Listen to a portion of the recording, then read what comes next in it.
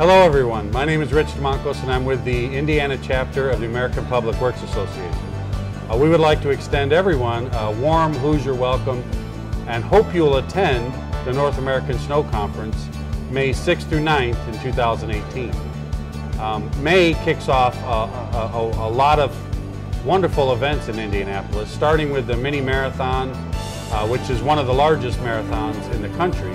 Uh, the very popular winter maintenance certificate course, and then of course the snow and ice conference um, the remainder of the week.